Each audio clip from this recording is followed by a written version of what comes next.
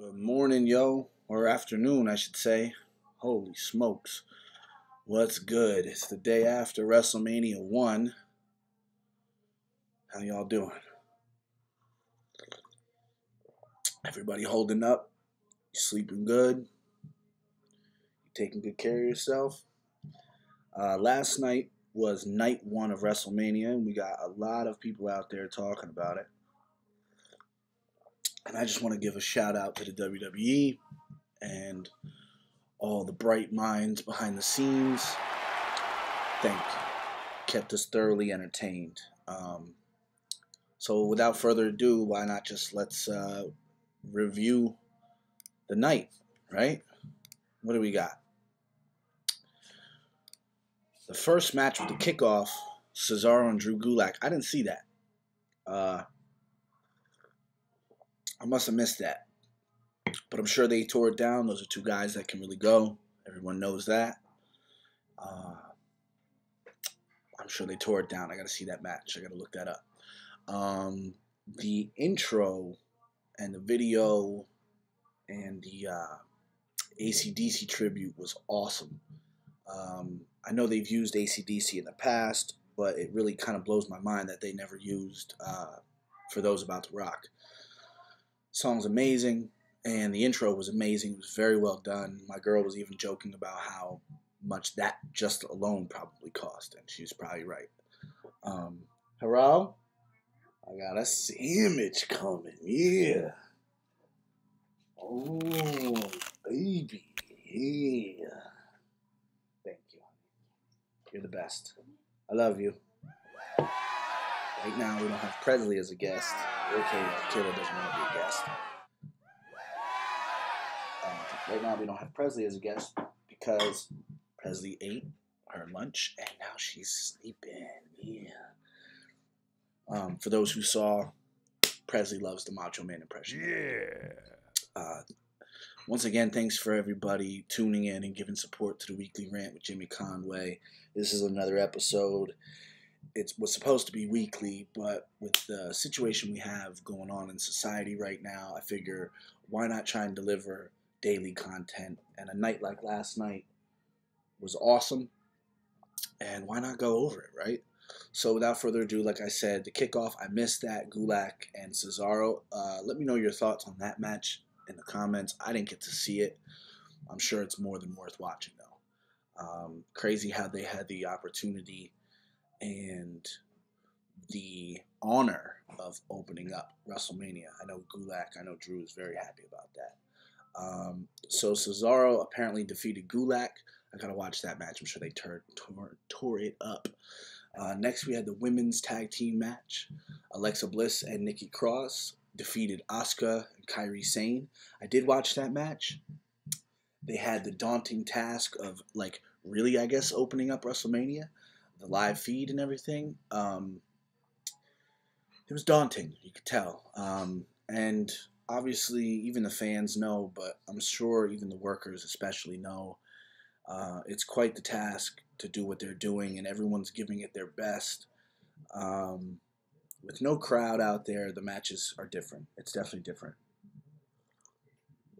It's a different feel for the guys and girls, you could tell, but everyone's giving it their best. Um, and, and that's all you can ask for. Uh, these four girls, they tore it up. I know they started the match with some haha, which, you know, brings some levity to the situation.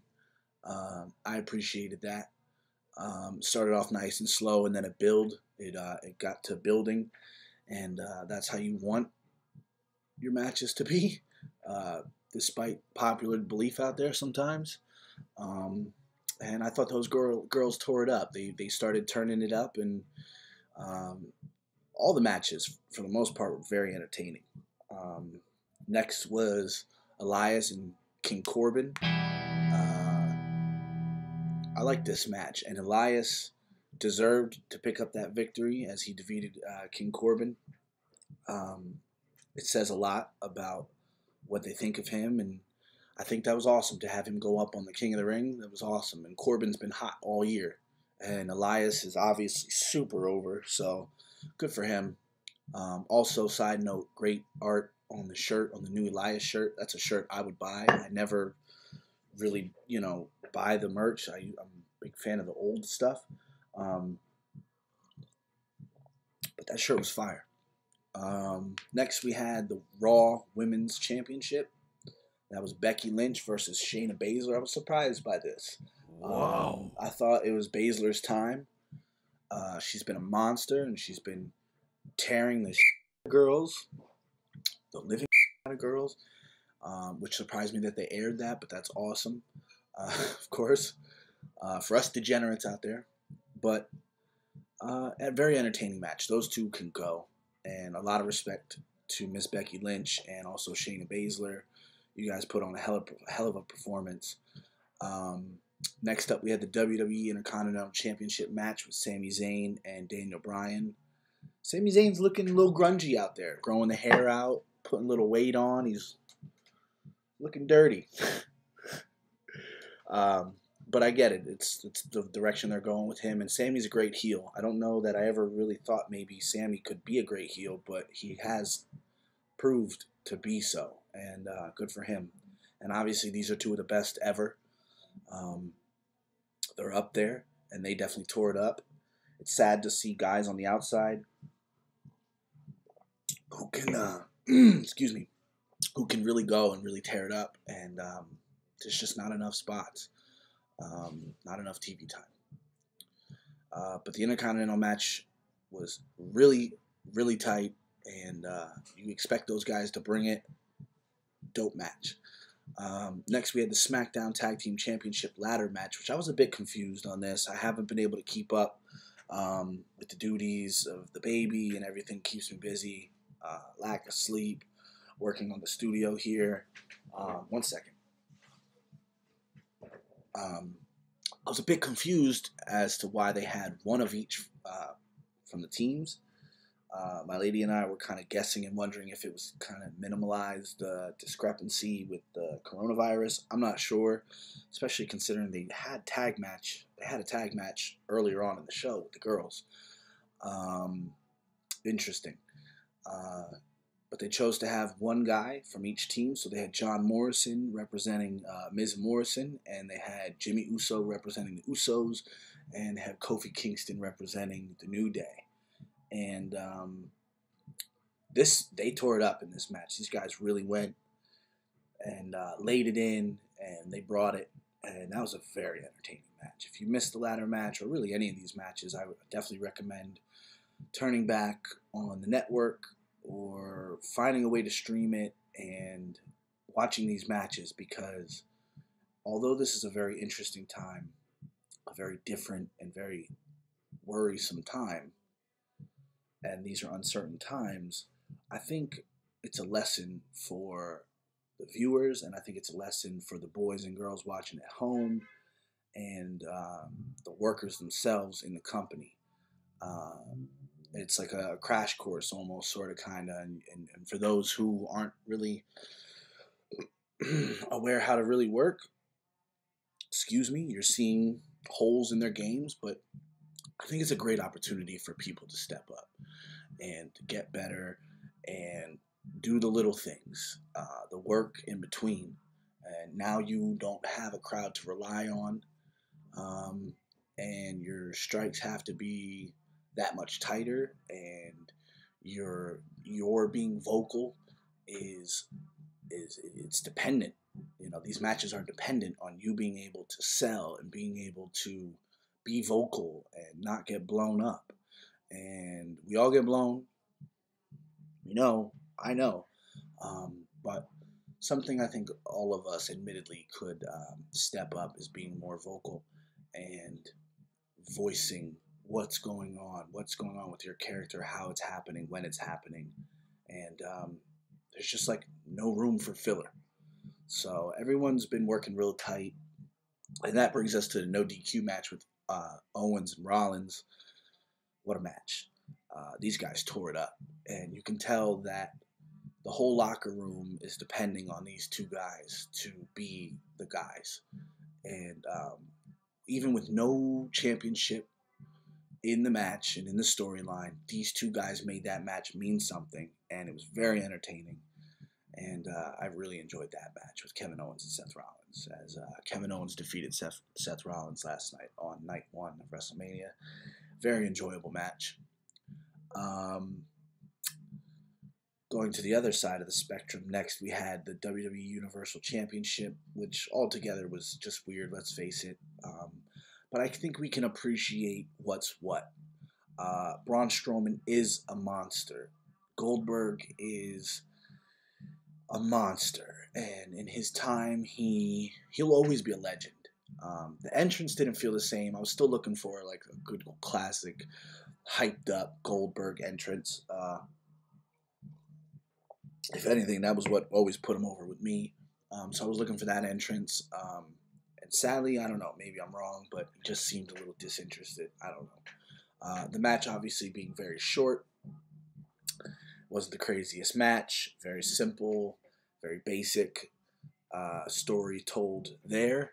And they were in and out, and the story got told, and there was a new champion. And I think Braun Strowman is more than uh,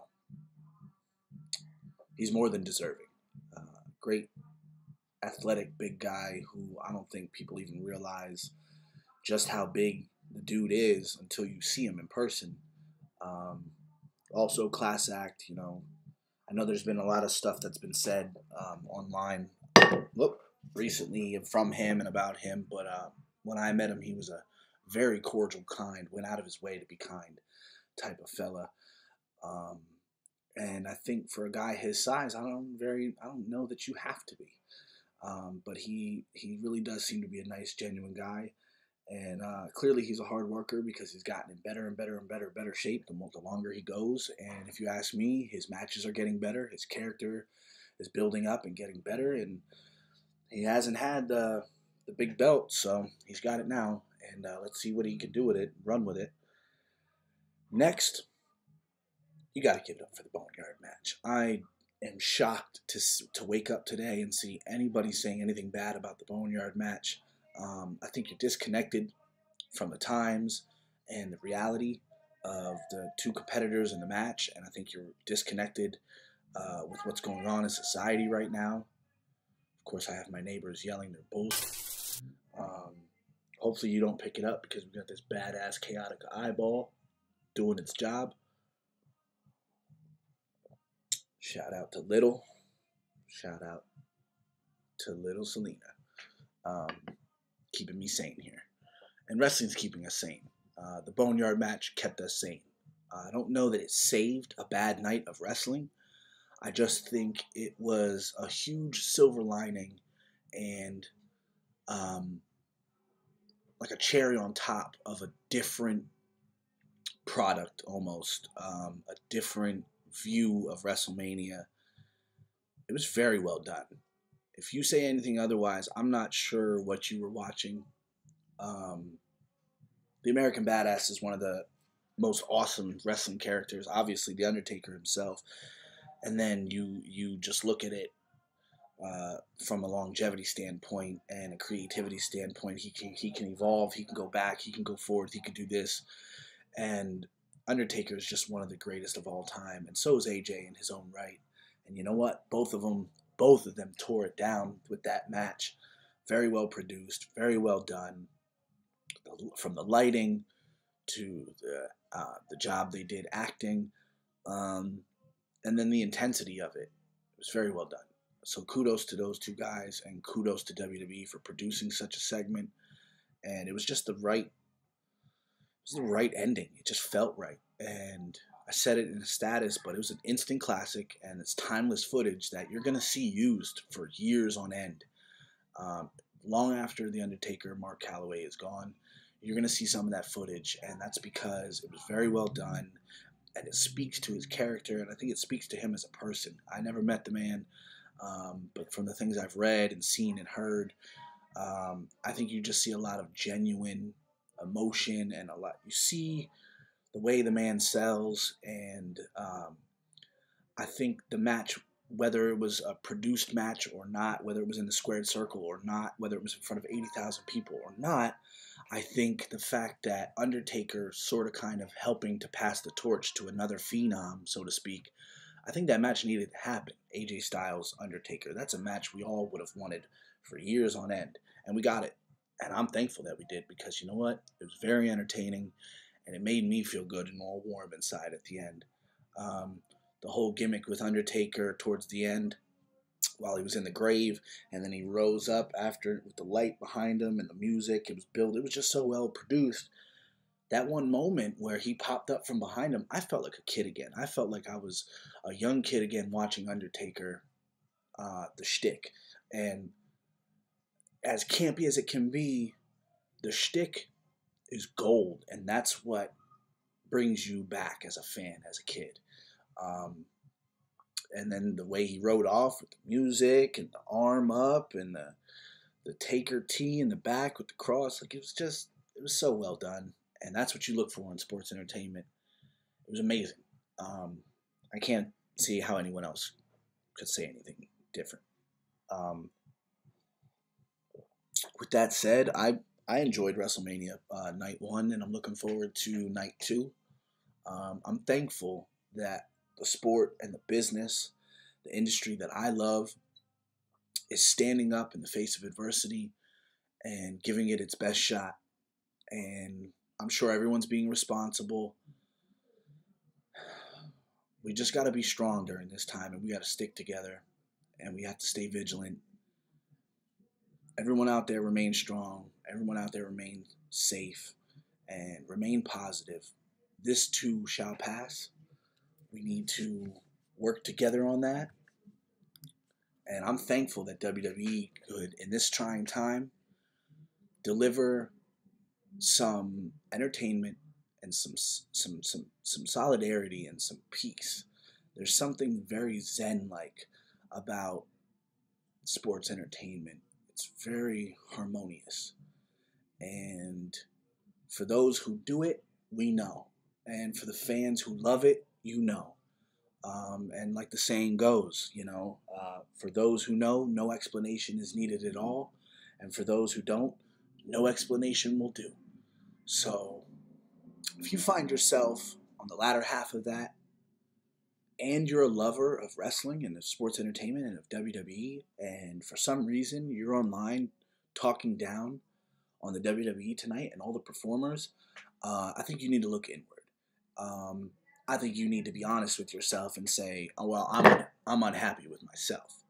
Um, I saw a good friend of mine, Mambo, Mambo Italiano. He said, uh, "I think it's funny that people who will never get close to working for WWE or being close to a WrestleMania are talking down and talking about WWE and WrestleMania." And I just think that uh, speaks volumes. So there's my review and my catch up on WrestleMania Night One. I'm looking forward to tonight. I know we got Bray and Cena. Um, what else do we have?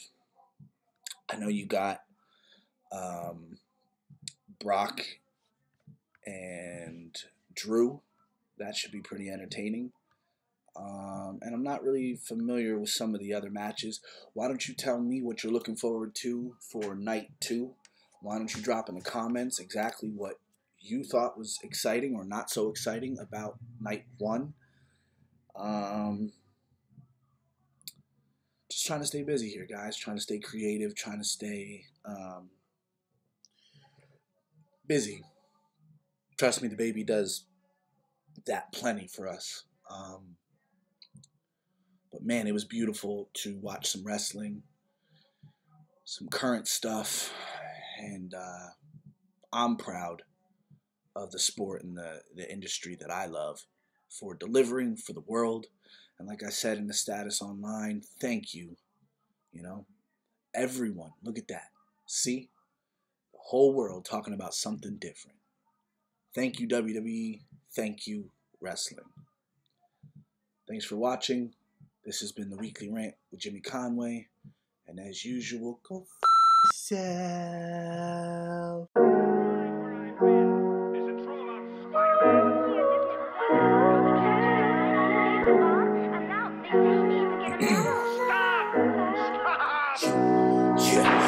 Like round the way. Cyphers every day. Girlie's down today. Get yourself a steak. Where's where? Ain't no other way. Say, let that boombox play. Yeah, we goin' late. Me and the homies playing football in the middle of the street. Hey, still remember the sound of the ice cream truck. I still remember the first time she didn't call me back. Never forget the nights of playing manhunt and meeting Anastasia. Still had to put the past behind me.